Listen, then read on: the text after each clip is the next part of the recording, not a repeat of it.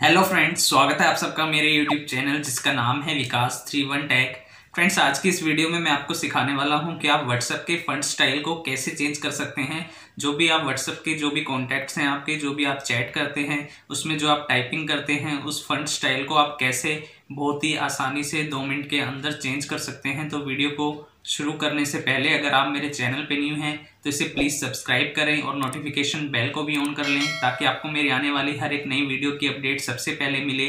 तो चलिए इस वीडियो को शुरू करते हैं। तो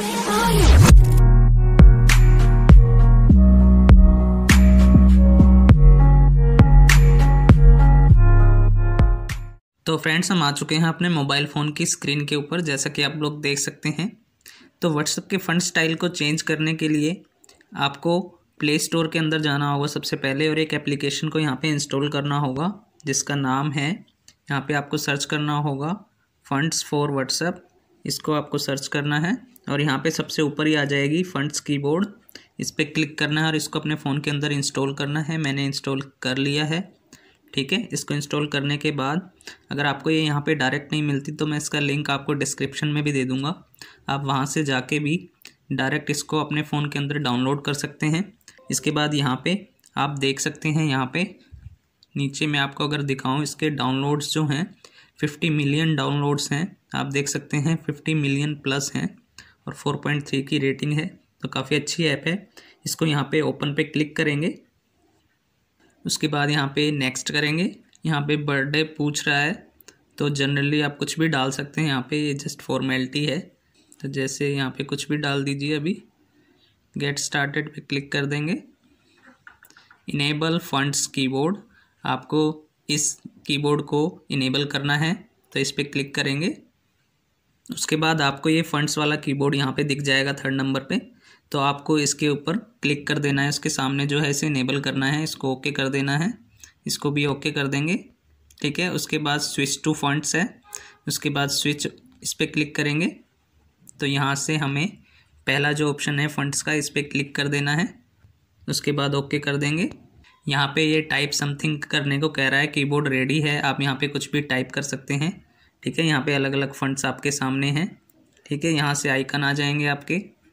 फिर से एबीसी पे आ जाएँगे नीचे। नॉर्मल है यहाँ पे। ठीक है अलग अलग लैंग्वेज हैं। ये देख सकते हैं आप, यहाँ पे आउटलाइन है। यहाँ पे आप कुछ भी टाइप करेंगे तो ये आउटलाइन में आ रहा है। देख सकते हैं आप, यहाँ पे ये अलग है शेरिफ ठीक है, इस तरीके से ये टाइपराइटर है। यहाँ पे आप इस तरीके से फंड आपको दिखाई देगा। तो यहाँ पे काफ़ी सारे दे रखे हैं, आप देख सकते हैं। यहाँ स्मॉल है, ठीक है स्क्रिप्ट है तो इसमें इस तरीके से दिखाई देगा।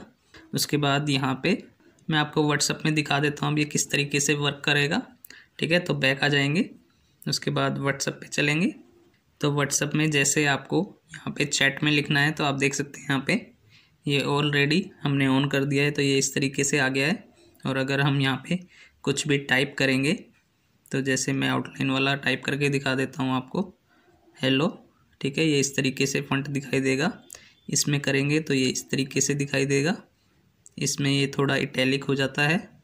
उसके बाद यहाँ पे काफ़ी सारे हैं स्मॉल कैप्स हैं, ठीक है, इस तरीके से दिखाई देगा।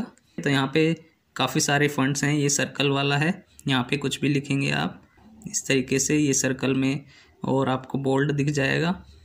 ठीक है? इस तरीके से यहाँ पे काफ़ी सारे फंड स्टाइल हैं। आपको जो अच्छा लगे वो आप यहाँ पे सिलेक्ट कर सकते हैं। ठीक है? तो इस तरीके से आप व्हाट्सएप के फंड स्टाइल को चेंज कर सकते हैं। बहुत ही आसानी से।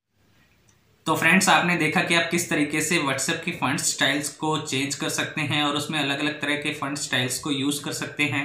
अगर फिर भी वीडियो से रिलेटेड कोई भी क्वेश्चन कोई भी क्वेरी है आपके माइंड में तो आप मुझे नीचे कमेंट सेक्शन में कमेंट करके पूछ सकते हैं। और अगर आपको वीडियो अच्छी लगी हो, पसंद आई हो तो इसे लाइक ज़रूर करें और ज़्यादा से ज़्यादा शेयर करें। अब मिलते हैं नेक्स्ट वीडियो में। Thank you